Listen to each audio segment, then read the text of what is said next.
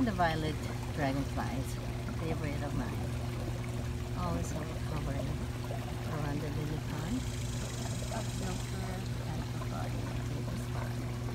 Where I connect with nature, my butterflies, the dragonflies.